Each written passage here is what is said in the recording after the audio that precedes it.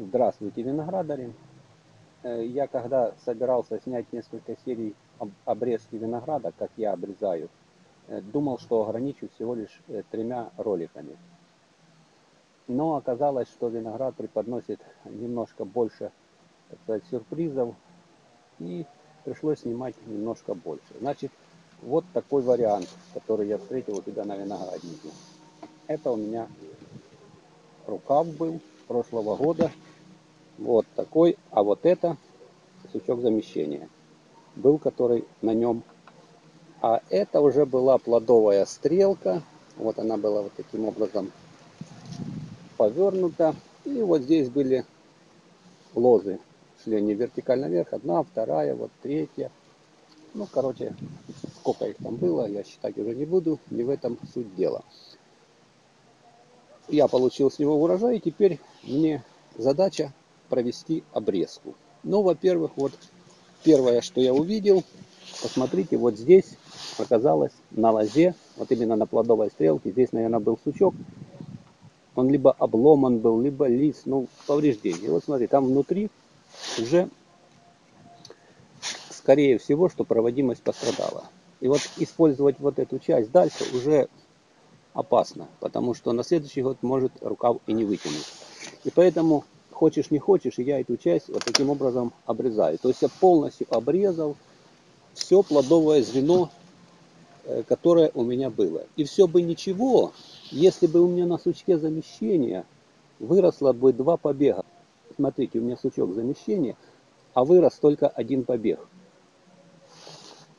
Вариантов у меня осталось немного. Если бы вот эта плодовая стрелка была вот здесь целая, не было этого повреждения, я бы вот этот сучок сделал бы из вот этого побега раз, два, три, еще один сучок обрезал, оставил бы.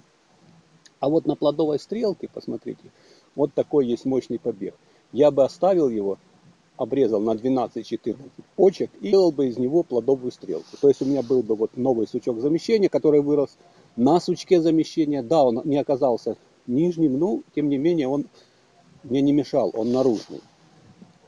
И, значит, вот так бы я сделал. Но не получается. Здесь на лозе повреждения, и мне приходится всю плодовую стрелку обрезать. И второй вариант. У меня вот на сучке опять не получился вот этот побег. Что же мне делать? Но вот здесь у меня вырос такой побег, и я его на всякий случай оставил, не стал удалять не стал выщипывать весной. И вот теперь оказывается, что этот побег мне, в общем-то, очень хорошо пригодился. У него хорошее очень состояние, вызревший побег. И мне придется его использовать. Теперь, что же мне делать вот с этим сучком? Во-первых, у меня удлиняется рукав значительно. И я решил, что я этом что я в этом году сделаю обрезку вообще без сучка замещения. То есть вот эта часть, которую я бы использовал, я просто вот таким образом обрезаю и оставляю рукав и вот такую плодовую стрелку без сучка замещения. Теперь какие будут действия мои э, на следующий год. То есть э, лоза вот эта хорошая, вызревшая, приблизительно там будет 16 глазков. Значит, я постараюсь в следующем году спровоцировать вот из этих почек, ну, желательно, а это, это, либо это, ну, может быть, это, чтобы мой рукав не удлинился очень сильно. Я хочу спровоцировать рост хороший вот такого побега. Обычно будут хорошо расти только крайние побеги, то есть последние на этой лозе. А вот эти, они довольно слабый у них рост. И вот чтобы спровоцировать рост побегов, обычно вот следующем году я ее буду изгибать вот таким образом, горизонтально земли. И вот где-то в этом месте я сделаю такой хороший изгиб. И вот часто вот в этом месте, когда делаешь изгиб, немножко начинает хрустеть лоза.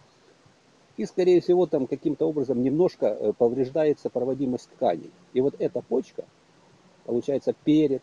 Бывает даже и вот это, она получается на изгибе что-то там происходит и провоцируется очень хороший рост.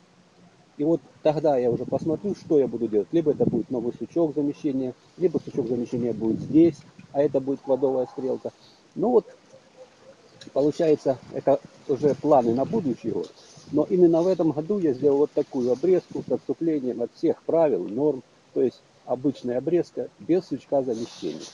Ну, что делать? Приходится иногда делать и так. Вот, собственно говоря, и все. Именно об этом отступлении, обрезка без сучка замещения. Смотрите, подписывайтесь. Если будут еще какие-то варианты по обрезке, я постараюсь их тоже подснять и показать.